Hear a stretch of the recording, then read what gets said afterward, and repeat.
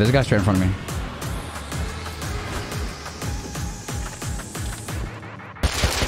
Double dead. I was trying too hard to put my chicken suit back on.